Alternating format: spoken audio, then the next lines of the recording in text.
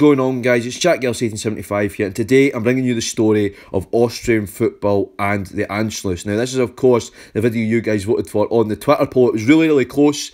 Football in a divided Berlin just lost out narrowly. So you guys picked this video idea. I always love doing the videos you guys pick on the Twitter poll because I know it's something you want to see. It's something you'll engage with really well because I do this for you guys as much as I do it for myself because it's great to bring you guys football and stories and it's great to you know engage with your interests in regards to German and Austrian football and football in general um, on the channel. So it's good to sort of engage you guys' interest as well. Now, before I jump into what we'll be talking about in regards to Austrian football and the Anschluss, I'm going to do a little disclaimer. First of all, there's some very painful history I'll be going over when I talk about the fate of Jewish clubs in Austria. I will be talking about the Holocaust in Austria. If you find that too painful or too distressing, feel free to skip past that section of the video.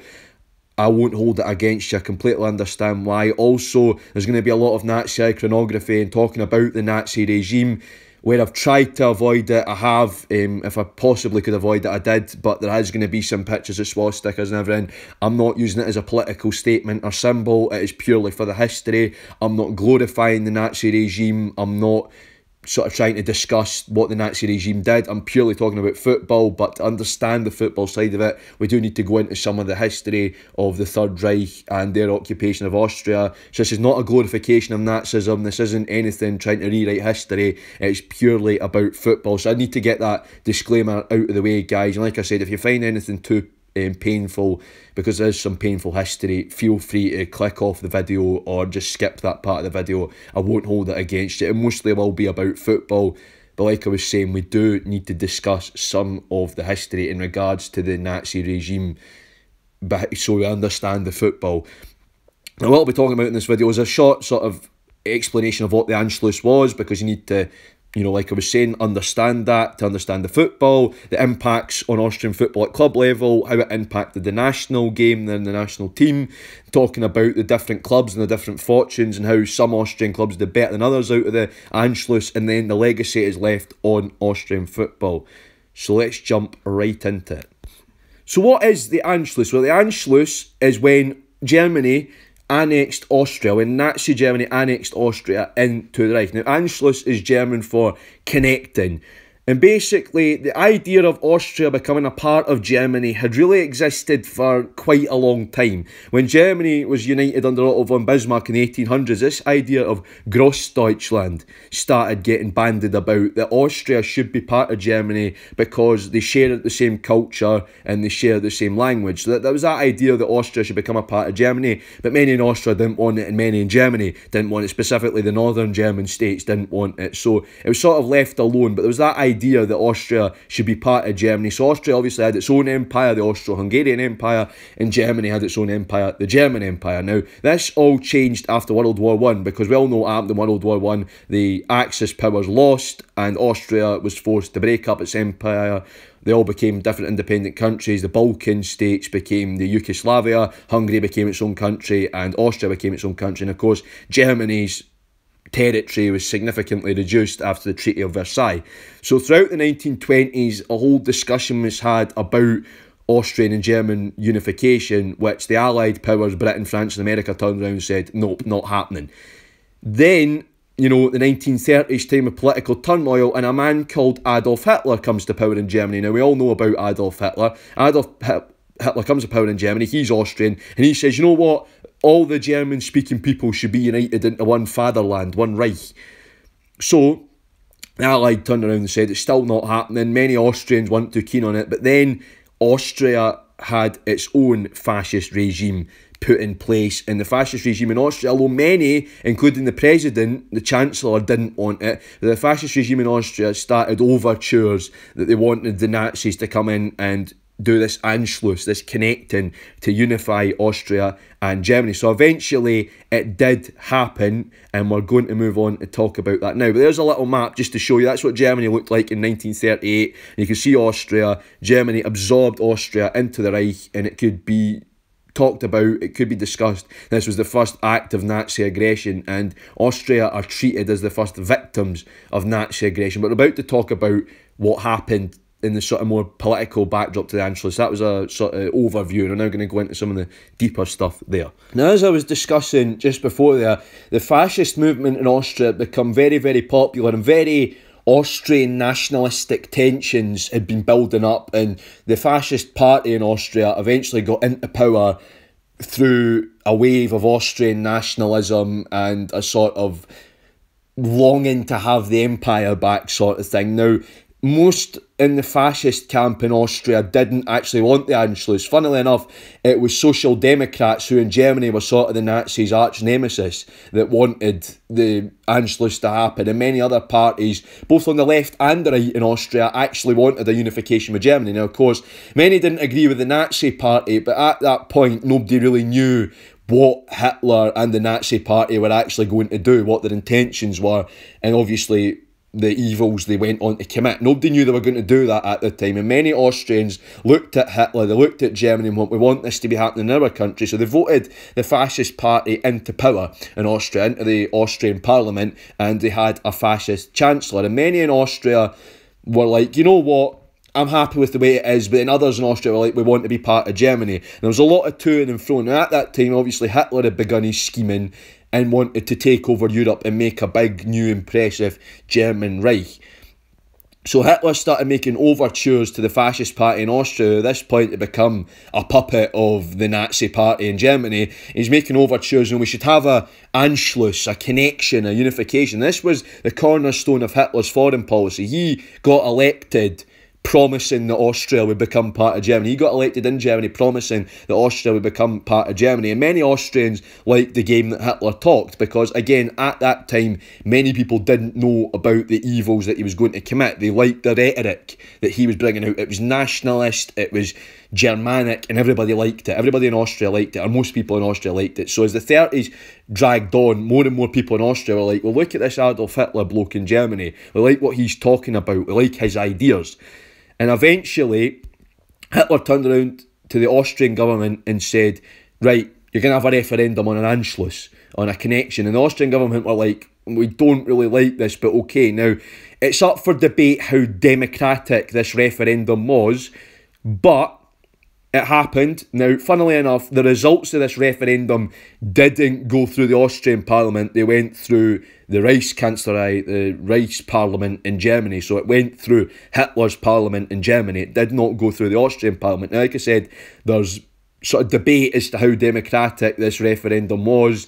The SA, which of course the Nazi sort of intimidation, the Nazi muscle, if you like, the Nazi heavies were sent down Austria to persuade people to vote for the Anschluss and in the end, about 80% of Austrians, around about there, there's no exact figures available, but around 80% of Austrians voted for the Anschluss. Now, like I said, it's up for debate how democratic that was. It probably wasn't, and a lot of intimidation was used. A lot of people disappeared that were against it and anything like that. So the Anschluss was democratically elected for but then on the 12th of March 1938, the Austrian police just opened the borders, the, all the border posts with Germany, and the Wehrmacht, the SS, and the Nazi police, the German police, the Ordnungspolizei, marched through the border and into Austria. So, effect, so effectively, Austria was invaded, but I think it was the most wanted invasion ever. When they got to Vienna, when they got to big cities like Salzburg and Linz, which was near where Hitler was born,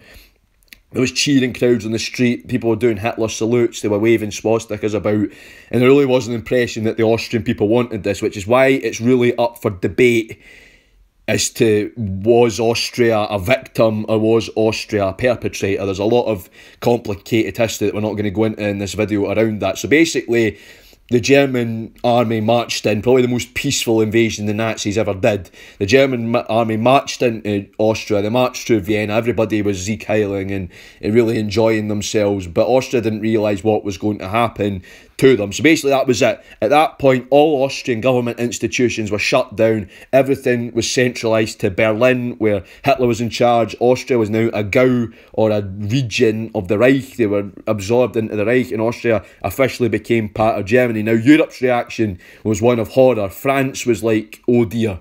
You know, France wasn't best pleased about it. Hitler's ally Mussolini wasn't best pleased about it because he wanted territory in Austria. Britain and the Soviet Union had a sort of indifference towards it, although they were getting worried. America wasn't really caring, but again, it was like, what's this Hitler guy's intentions all about? Because nobody really knew about what Hitler was. Nobody really knew what Hitler was up to until the Anschluss happened, and it sort of set danger Europe on a really dangerous path that eventually led to World War Two. You could say the Anschluss was the sort of spark that light lit the fire of World War Two. So basically that was it. Austria was no longer a sovereign, independent country. They were now firmly part of the Nazi Reich. They were absorbed into the Nazi government. They had a Gauleiter instead of a chancellor. All power was centralised to Berlin, and the Nazis began violently rounding up and killing anybody who didn't like Jews, gypsies, homosexuals, communists, anybody that went against what the Nazis wanted. They were being rounded up, taken to concentration camps, killed, tortured, intimidated, and that was that Austria was now part of Hitler's fiefdom, and it set Austria on a horrible path that only ended in 1945. So that was a little bit of background to the Anschluss. There's a lot more complicated stuff apart from that, but basically, I just wanted to get the basic facts out the way. Austria democratically or undemocratically voted to get become part of the Reich they became part of the Reich, realising the idea of Grossdeutschland. The German army did march into Austria, but it was the most peaceful invasion you're ever going to see. Austrians were relatively happy about it, and all power was taken away from Austria and centralised to Berlin, and that was it. They were firmly a part of the Nazi Reich, and like I was saying, it set Europe on the dangerous path with history, the dangerous course with history that eventually led to World War II. So that was a little bit of background to the Anschluss. We're now going to go and look at what this meant for Austrian football at club level. Now we're going to look at the football side of things when it comes to the Anschluss, what this video is really all about. Now, as I was saying, after the Anschluss happened, all Austrian government institutions were removed, they were disbanded, and they were taken up to Berlin and centralised. The same happened with Austrian football. The ÖFB, the Österreicher Fußballverband, the Austrian FA, was disbanded, it was shut down, and it was absorbed into the DFB. And any sort of football club that did not match what the Nazis wanted, any football club that was linked with communism or any Jewish sport clubs, and the one we're going to be talking about is Hakoah Wien, um, Hakoah Vienna which is a massive Jewish sports club and Jewish football team in Vienna, was taken away. Now, we're going to talk about them later. It was disbanded. Anything that remotely went against what the Nazis wanted, football club wise, disbanded. Any football clubs linked with communism or social democrats, disbanded. Any football club like had links to the Jewish community in Austria disbanded. And like I was saying, the ÖFB was disbanded as well, along with the Austrian national football team. So all Austrian football institutions were disbanded. The ÖFB was absorbed into the DFB, and any football club that did not match what the Nazis' warped idea of society was completely they got disbanded, they got taken away. And like I said, they will be using Hakoah Vienna or Hakoah Wien much later in the video when I talk about what happened to football clubs and the different fortunes and look at individually. We'll be looking at Hakoah Wien's case and what happened to them as a football club. So now we're going to look at what happened once the ÖFB and football clubs that didn't match what the Nazis wanted were disbanded.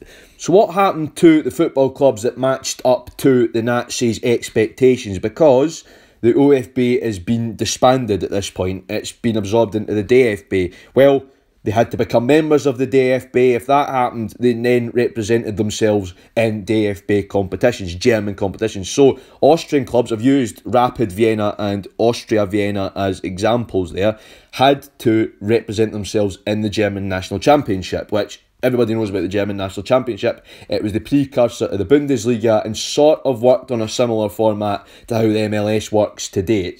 It's, different, but similar. It's same but different, if you like. Um, it's very similar how the MLS works today. They also had to play in the DFB Pokal. So basically, they were answerable to the DFB, the Deutsche Fußballbund, and they had to play in German competitions, the German National Championship and the DFB Pokal. Now, as we're going to learn later on, Rapid Vienna did very, very well out of this, um, extremely well.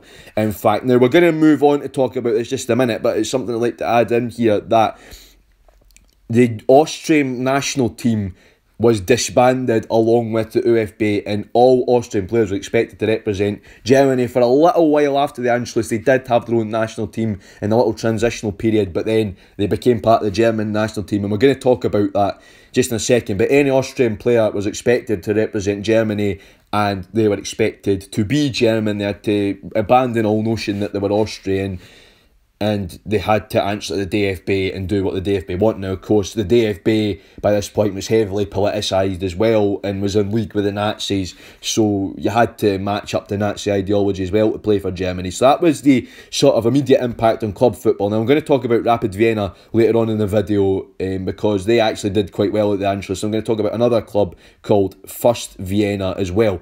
We're now going to move on to looking at the impacts on the national game and the national team the impacts that Anschluss had on them.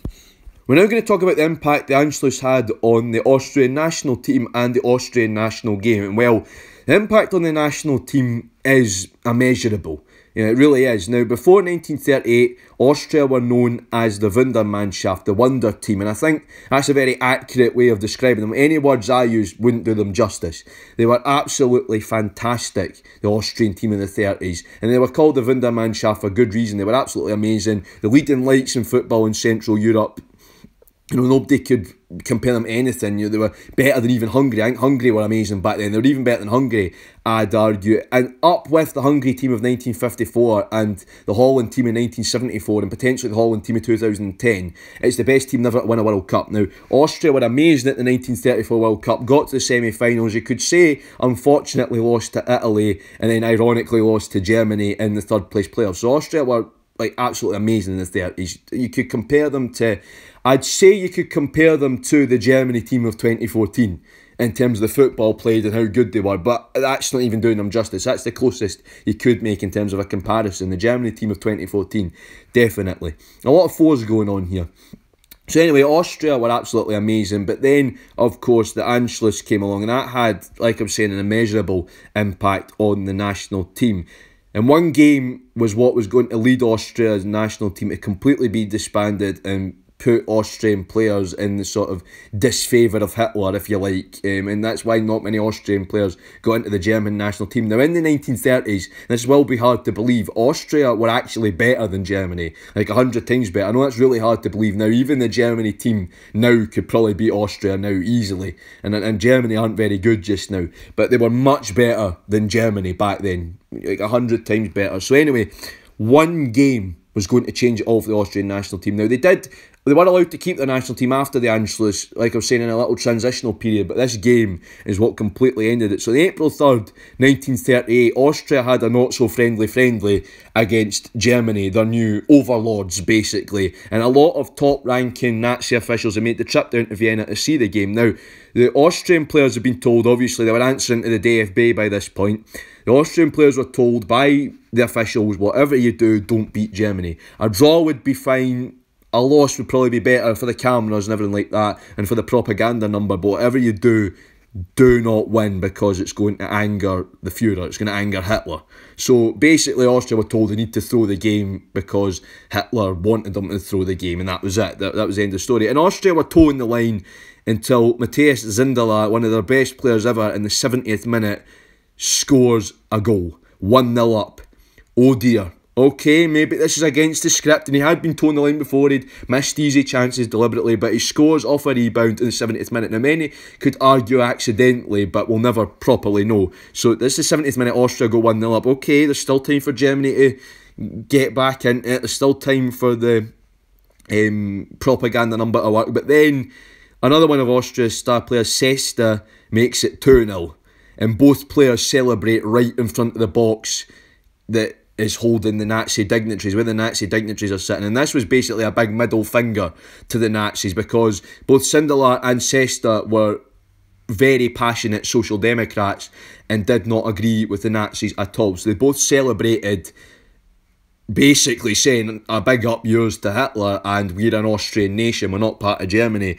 And this caused untold repercussions for the Austrian national team. Now, of course, the biggest repercussion is and probably the it's the biggest but not the most sinister as we're going to go on to discuss but the biggest repercussion for the Austrian national team was the fact that they just got disbanded that was it and Austrian players never really got picked for Germany after that at the 1938 World Cup there was like a handful of Austrian players but Hitler had completely went on to distrust them after that because, of course, they can't do a simple thing as to deliberately throw in a football game for the whims of a dictator. So that was that. They, that was them in big, big trouble. So Austrian players immediately fell out of favour with Hitler, which is funnily enough, given he was Austrian. You know, you think you'd be happy that your country won. Um, and the Austrian national team was disbanded, and from there on in, it was all about the German national team, the centralised German national team. But more sinister things were to come. Sindelar and Sesta both disappeared. Now, nobody really knows the sort of happenings of this. Many claim that a big black Mercedes pulled up and the SS bundled them into it and they were never seen again.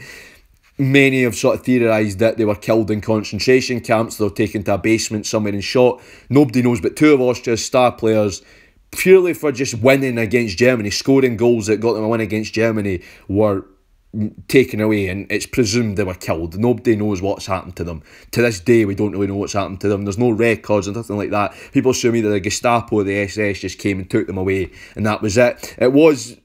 There's evidence heavily pointing towards Sindelar died in a concentration camp, but it can't be proved. But anyway, that's how far the Nazis were going to go, and that's what led to the. It just really impacted the Austrian national game. A lot of the Austrian star players were then at that point too scared to um, sort of stand up to the Nazis. A lot of them quit the game forever after what happened. But Sindelar and Sesta, two of the Austrian, I'd say legends, were taken away by the SS, the Gestapo, and never seen again, and probably were killed somewhere, either in a concentration camp or in a basement somewhere. And, and that was really the most sinister side of the consequences of just purely beating Germany. That was it. They'd angered Hitler that much by beating Germany, just go, We're Austria, we don't agree with you. And that's how evil the Nazi regime really were. Just because two players scored goals, which is what footballers are meant to do, they were taken away and killed, presumably killed. Um, they were assassinated for all intents and purposes. And that's what Hitler did. And this sort of turn of sinister nastiness which was typical of the Nazi regime, this taking out any form of opponent, no matter how minor it was, is what led to Austria's collapse. And even today, this sort of breaking up of the Wundermannschaft as, as a result of the Anschluss is still having impacts on Austrian football today, and it's still a very painful subjects for Austrians to talk about this sort of thing that they had their national team ripped away from them in really sinister and horrible circumstances. That was what the impact on the Austrian national team was. They had a great national team, one that was lighting up Europe and indeed the world, you know, World Cup semi finalists. Who would ever expect Austria to do that? You know, back in the 30s, they really were the leading light. They were very much like the Brazil of their day. You know, Brazil weren't too good in the 30s. They really were the Brazil of their day, where they were just a really talented, solid team. But it wasn't to be. It wasn't to be because of the Anschluss. So the Wundermannschaft, sadly, was no more. We're now going to move on looking at the different fortunes of clubs and starting with Rapid Vienna, a club that probably benefited the most out of the Anschluss. Now, we're going to talk about clubs that did well out the Anschluss and clubs that didn't do so well out the Anschluss. Now, the first club that did well and I think we could say they did very well out the Anschluss was Rapid Vienna. Rapid Vienna, of course, instantly recognisable name in Austrian football, probably even ahead of Red Bull Salzburg. Now, the most successful side in Austrian, Austrian football, they're very much the Bayern Munich of Austria, and in the 30s, they were the Bayern Munich of everywhere, basically. That's a way of putting it. Now, the Bayern Munich of Austria and Germany, really successful club had some great players that we're going to go on and talk about, and they did very well out the Anschluss. Like I was saying, they won a German national championship in 1941, so they were technically champions of Germany as an Austrian team, and they won the DFB Pokal in 1938, which was the first Pokal after the Anschluss. So they beat Schalke in the championship final, they beat FSV Frankfurt in the Pokal final. We're going to break those competitions down individually in a minute, but we're now going to talk about Rapid Vienna as a team breaking down those competitions and why they did so well as an Austrian club within German football. So we're going to talk about that now. Rapid Vienna in the 1930s, much like their own national team, much like the Austrian national team, were amazing. They were an amazing team. Rapid Vienna were very much like the Real Madrid of the time, if you like, in terms of how good they were and the sort of football they played. They were really, really successful. And when the Anschluss happened, Rapid Vienna, like I was saying, really benefited out of it. Now, that's not to say they collaborated with the Nazis or agreed. They probably weren't all fanatical Nazis. There probably was a few in there that were card carrying Nazi party members that believed in the cause and everything like that. But that's not for me to say. It's not for me to say whether they collaborated or not. That's for historians that know about these things to say. I'm purely looking at it from a on the pitch perspective, but I've just got to get out the way that they did sort of not say anything and not bring up the issues that the Nazi regime were having, you know, they didn't bring up the evils of the Nazi regime, but they sort of had to keep their heads down to be successful. Plenty of clubs did speak up and it didn't end well for them. And it's similarly Schalke and Nuremberg. I wouldn't say, and I don't want to say that they were collaborators, but they did have strong links with the regime and didn't say anything against the regime, which is why they were so successful at the time. But Rapid Vienna were very, very successful in Austrian football pre-Anschluss. And when the Anschluss came along, well, their great team just adapted to German football really quickly. Now, I was saying about Real Madrid, I'd actually compare them to Bayern Munich more, actually. They were sort of like the Bayern Munich of the 30s. So they won the first day DFB Pokal, like I was saying, after the Anschluss happened in 1938. And that's what we're going to break down first. Now, it wasn't called the day DFB Pokal, it was called the Tschammer Pokal, but I'm just going to call it the day of DFB Pokal for like continuity and everything like that. So the DFB Pokal had a slightly different format in 1938. Now, Rapid Vienna, for some unknown reason, got a bye up until the quarterfinals. I don't know if that was for political reasons or not. But they got a bye right up to quarterfinals. Now, there was actually two quarterfinals that it's too complicated to explain. I might do it in a history of the people Pokal video, but for this video, just to get out the way, there was two quarterfinals. So quarterfinal one, they beat Amatura Fiat Wien 5-1. So they beat a fellow Vienna side, the team of the Fiat factory, who were amateurs 5-1. Then went on to quarterfinal number two, where they beat Waldhof Mannheim 3-2, a very impressive Waldhof Mannheim team. They went to semi-final and played Nuremberg. Nuremberg were like the second best team in the country at that point. They're like Borussia Dortmund. They sort of took on the Borussia Dortmund role that they have now in the 30s, and they beat that very impressive Nuremberg side 2 0. So they got to final, and then in Berlin, in front of a German crowd, an Austrian team in Berlin beat FSV Frankfurt 3 1 in the final. Again, a very impressive FSV Frankfurt side who probably should have beaten Rapid, but Rapid were just absolutely amazing. Played FSV Frankfurt off the park and won 3 1 in front of a big German crowd at the Olympiastadion in Berlin. That is, just think about it, that's an Austrian team winning the Pokal in front of a crowd in Berlin. Now, like I was saying at the start of the video, I'm not glorifying that time, period of time. It was an amazing Rapid team who did deserve to win it. It's just unfortunate that the backdrop to it was not very nice. But that was an impressive um, sort of win for Rapid Vienna. It shocked a lot of the papers um, in Germany and Austria. The Nazi leadership were quite happy because they viewed Rapid Vienna as a good Nazi club. Now, like I said, they, they're not. They're definitely not. But again, you've just got to look at in the context of the time, and I've got to say these things with continuity. So they beat a really impressive FSV Frankfurt side. As you've seen there, they had a really impressive um, run to the final as well and lifted the DFB Pokal.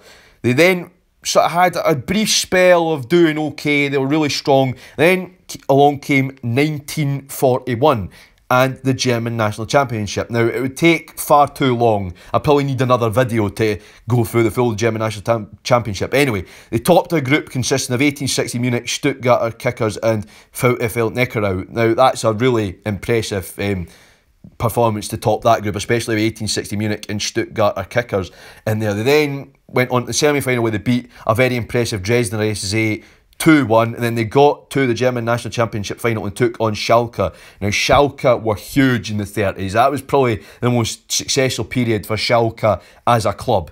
And Rapid Vienna beat them 4-3 in a very impressive game.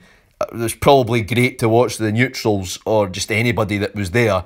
4-3 to win the German national championship. That's right, in 1941, Rapid Vienna, an Austrian club from the capital of Austria, were crowned champions of Nazi Germany, of Germany, of the Reich, if you like. They were considered the Reichsmeister or the Imperial champions. So that was it, Rapid Vienna had won the German national championship. So they had benefited really well out the Nazi era just purely by playing good football. Like I said, I don't really want to bring the political side into it. You have to for continuity, but we'll never fully know what, why they did so well. I think it's just because they had a talented group of players and they adapted really well to the German game, how the German game was played at the time and that was actually they won a DFB Pokal and they won a German national championship. So champions of Germany and DFB Pokal winners. Now, if you want to learn more about the DFB Pokal win, there's a huge big exhibition, outdoor exhibition about it at the Olympiastadion in Berlin. So when restrictions allow, go along to the Olympiastadion if you can travel, get there, go to the wall, you'll see 1938 Rapid Vienna read up on it if you know German. It's excellent. If you can speak German, if not, you can use Google Translate. Excellent story. They talk all about it. Then you can go to the German Football Museum in Dortmund or the Austrian Football Museum and learn about when they won the German National Championship and the trophy's still there as well. So I definitely recommend it because from a footballing point of view on the pitch, it's an excellent story. Obviously, you got that horrible backdrop that the fact that Austria was annexed and everything behind it, but excellent football being played from Rapid Vienna. We're now going to move on to look at First Vienna, the other Austrian club that benefited out of the Anschluss and actually made a little bit of history along the way. The next Austrian club that benefited out the Anschluss was First Vienna. Now, I was going to pick a few others, but I thought, you know what, if we talk about all of them, we'd be here all day, and there's a few sections more to go in the video and I thought, you know what, just pick two. And I thought First Vienna would be a good one to talk about because they were a little club from Vienna, and to win the DFB Pokal, which is Germany's cup competition, is a huge thing. So they won it in 1943 against Luftwaffe Sportverein Hamburg. So that was the Luftwaffe football team. Now, in 1943, of course, it's the height of the war squads were depleted by you know men going off to fight and a lot of army teams had been founded everything like that of course they were playing part-time or they were army staffs weren't like top footballers if you like so that might explain why first Vienna win I'm not taking it away from them still good for a club like that to win the German Cup the DFB Pokal so that was at the height of World War II and they made a little bit of history because the 1943 Pokal was the last one until 1952. It was the last one until well after the war had ended. The DFB Pokal didn't start again until 1952, and of course East Germany had its own cup competition. So it's a video about the Anschluss and I brought East Germany into it. My bad. But anyway, um, first Vienna won this DFB Pokal, which was impressive. I've got to say, you know, LSV Hamburg weren't exactly a team to be sniffed at. I know they were a Luftwaffe sort of army team, but weren't a team to be sniffed at. Still had some good players, weren't to be underestimated. So first Vienna did phenomenally well to win this cup. So we're going to look at that journey and look at that more in depth now. Now, as we were discussing before, First Vienna weren't exactly a huge club. Now, they were relatively important to Vienna and Austrian football early on, but we're talking about the 1940s here and not much is known about them in the 40s. None of their players are really known. Nothing is known about them other than they won a Pokal. So they must have been a decent group of players. And like I was saying before, the war probably goes a long way to explain it. Now, football teams obviously consist of young men of fighting age. And in 1943, things weren't going well for Nazi Germany in the war, to put it lightly. They'd just taken a beating um, in the Eastern Front. The Soviet Union were beginning to sort of push back. Operation Barbarossa hadn't went to plan. And a lot of young men that would have been playing for football clubs that were a fighting age sadly went to the Eastern Front and never came back. Um, died in the harsh conditions when they were fighting the Soviets on the Eastern Front and many ended up in the Soviet Gulag system, um, taken as prisoners of war. So a lot of the young men from football teams went off and never came back. Now, like I was discussing, they beat the Luftwaffe team in the final. There was a lot of army teams then, but we'll get to that. So they started off their DFB Pokal journey, probably not expecting to win it, they ended up winning it. Now, like I said, you can form your own opinions on it. Personally, I think, and a lot of football experts from that know about football during the war and everything will probably agree that it was because of the war that they won. Um, it looks to me that they had a lot of older players or players that were from reserved occupations. Now, the other thing, big thing, is a lot of young men that were left behind were getting killed because Allied bombing raids were beginning to take their toll on Germany as well. So you can form your own opinions on it, but I definitely think it's as a result of the war that they won this Pokal. But anyway, they won the Pokal all the same against an impressive LSV Hamburg team in the final. So, you, like I said, it, it must have been a decent team, and they won the Pokal nonetheless. They started off in the first round playing NSTG Brüx from occupied Czechoslovakia. Now, Brüx are from the Sudetenland in Czechoslovakia, which was a German speaking area of Czechoslovakia. It was annexed not long after Austria, then the whole of Czechoslovakia was invaded. So, Brüx were from Czechoslovakia, modern day Czech Republic. And not much is known about them, but they mustn't have been very good because First Vienna hammered them 14 0 in the first round. So that's a great way to start off your campaign if you think about it. You've come up against a team um, and you're beating them 14 0, so you can only beat what's put in front of you. Now, what you'll notice here is there's a lot of teams from occupied territories in the Pokal in 1943, like Czechoslovakia, like France, like Belgium. If you ever want to research any of this for yourself, you will begin to notice that um, very closely. Then in the round of 16, they played SPVG, SPVGG Breslau 02 or SPVGG Breslau 02 to say it in German, but that's a bit of a mouthful. Now, they are from Lower Silesia. Now, Lower Silesia is in modern day Poland, and Breslau now known as Wrocław. I apologise to any Polish people that have offended with that mispronunciation there, but from there. Um, they're from Bre- which was called Breslau at the time. The Lower Silesia had been part of Germany before the First World War, so it's not technically occupied, but it's now part of modern day Poland and as a Polish name. So they beat them 6 5. That must have been a really exciting match. Um, beat them 6 5 um, for, your, for a few Reichsmarks. You were getting to see an impressive game there. Um, getting to see 11 goals for your money, which is good. And then they played the hardest team. They, they sort of had the hardest game until the semi final of their campaign in the quarter final when they beat Nuremberg 3 2. So already, First Vienna were making a bit of an impact there. They beat Nuremberg, one of the biggest teams in the country, 3 2. Again, was their squad depleted because of the war? Probably. Also, Nuremberg was getting very badly bombed at that point. Then in the semi final, they played Schalke, the Schalke. Now, Schalke began to dwindle in the 40s. Again, war probably a big factor in that. Schalke began to dwindle in the mid 40s, but there was still a really decent side. Well, first Vienna handled that very well and beat Schalke 6 2. I think that's just well, outstanding. And then they beat LSV Frankfurt in the final 3 2 after extra time. So, again, a very impressive game for your few Reichsmarks to get into that final. They beat um, the Luftwaffe team 3 2 after extra time and lifted the DFB Pokal. Now, that is really impressive for First Vienna, and I wanted to add it in because it doesn't really have anything to do with politics. I don't, you know, it doesn't really have any links to the regime like Rapid did. They just played football and they won. In the backdrop of World War II, they managed to win a Pokal. So I wanted to add First Vienna that uh, and just sort of talk about their story and winning the Pokal. We're now going to move on to a club that suffered really badly as a result of the Anschluss. And this is the part of the video that if you do want to skip it, I will not hold that against you because it is a very painful subject. So now I'm going to move on to that.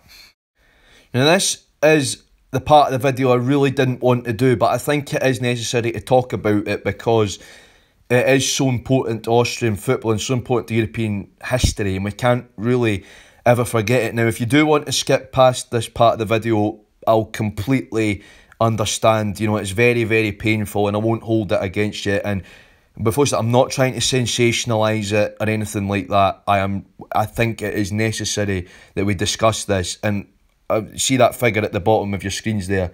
That is how many Austrian Jews are estimated to have died in the Holocaust. We don't know the real numbers. We, I don't think we'll ever know the real numbers, but it's estimated between 60,000 and 65,000 Austrian Jews were killed in the Holocaust on top of Austrian communists, Austrian homosexuals, Austrian gypsies, disabled people in Austria.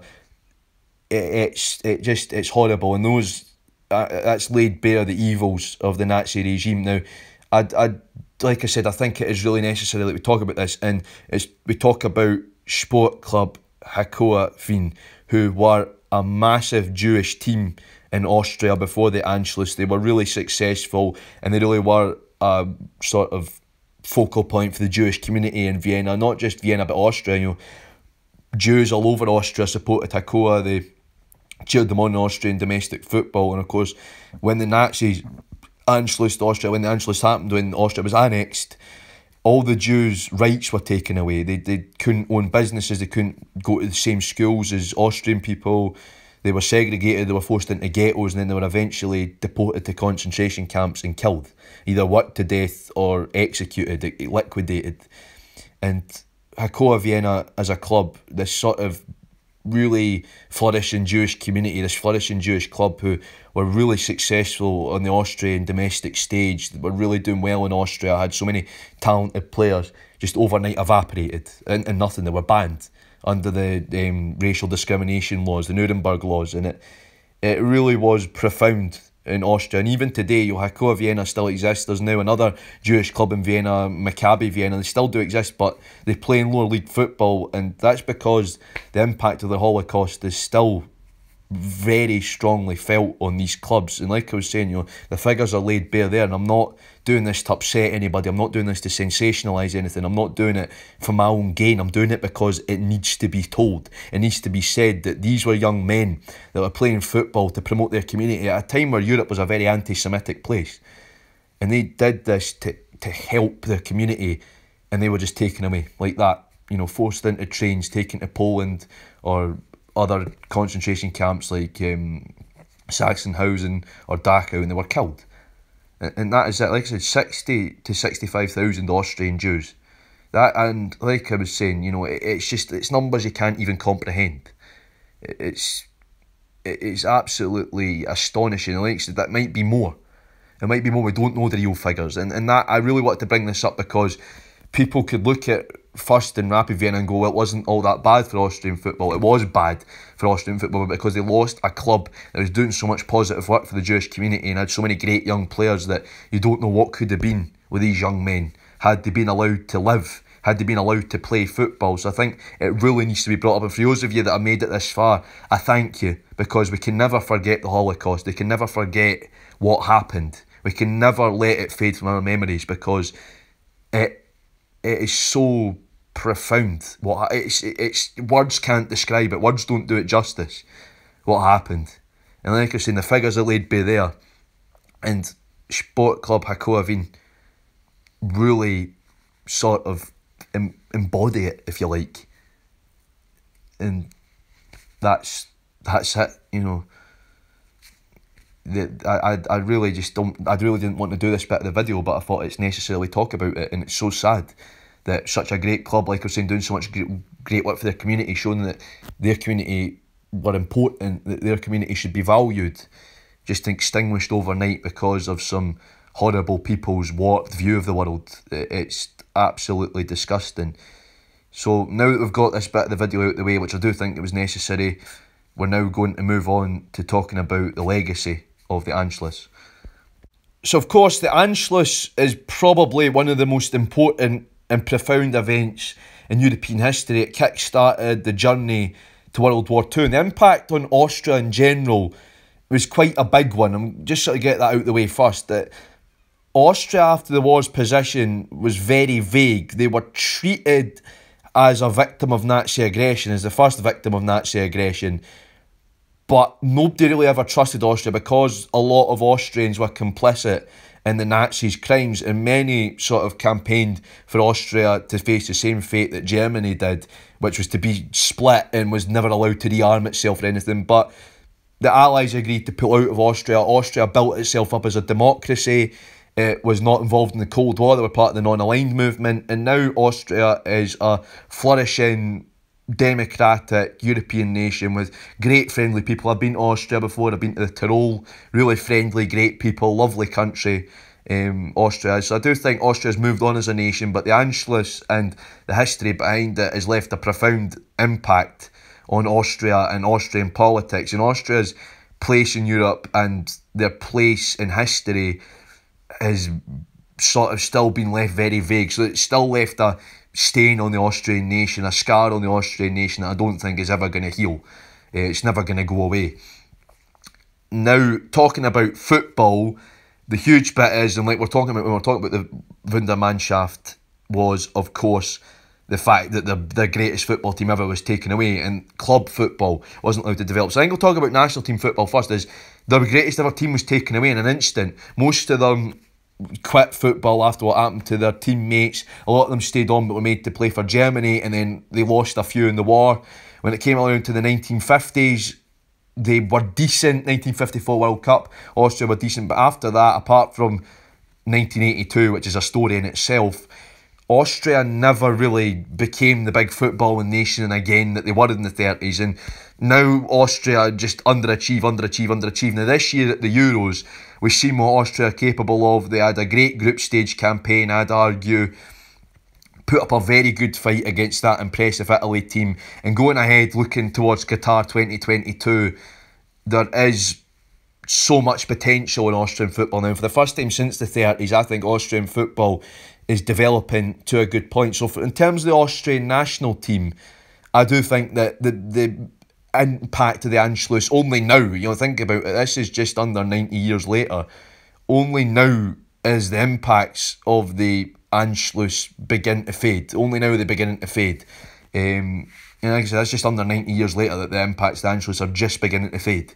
You know, they're just beginning to go away. You know, I think around, you're talking about 80, we're talking about what, 87 years later after the last World Cup as an independent country before the Anschluss it's only just beginning to clear up now and they're only just beginning to develop as a football nation. I'd say Austria are historic underachievers and now they're beginning to develop again as a football nation. A lot of positives to be taken out. It's a new generation, and the thing that really overjoys me the most, especially after what we talked about in terms of Hakoah Vienna, is the fact that the Austrian national team now is so multicultural. You've got David Alaba, who is half Chinese, half Nigerian. You've got Eastern European players who Slavs were persecuted by the Nazis as well. So you've got so many Eastern European players like Dragovic and Arnautovic. You've got Austrians as well, who are Austrians free from what happened. They're, you know, Austrians have grown up in a democratic, free country that don't need to fear being killed just because they scored a goal. So I do think the Austrian national team now, it's great to see and it just really puts on show how far Austria has come as a nation ever since the Anschluss. And it's, it's great to see. And I do think this Austrian team are so talented and there's so much going ahead for Austria. Like I said, going into the World Cup, so many positives which is great given that we've just talked a lot about a lot of depression history, a really dark chapter in European history just there. It's great to see that maybe some positives are beginning to come to light now and that the Anschluss is firmly in the past and the Nazis are firmly in the past, but we can't forget. And I think it's amazing that Austria have developed as a nation. It's great to see this Austrian team are fantastic, and certainly there's a lot to more for them to see in the future, and they're developing as a team really, really well. So now we're going to look at Austrian club football and the legacy and the impact that Anschluss has left on that. So now we're going to look at the impact on Austrian club football, and I don't really think there is much of an impact the Anschluss. I do think it does leave a scar that won't heal. Obviously, I think the biggest one is a lot of clubs like Austria Vienna, Rapid Vienna, and a lot of the bigger clubs that were around at the time have got to sincerely look at themselves and go, we were involved in that. Is it time to front up to history? Schalke have done it. A lot of the big German clubs that were successful at the time have openly admitted what they were up to at the time and have apologised for it. Austrian clubs haven't really done that. And I think that that's the biggest effect and legacy of the Anschluss is a lot of the big old Austrian clubs have got to look at themselves and go, did we collaborate? Did we take part in this? Did we enable the evil, one of the most evil regimes we've seen in the history of the world?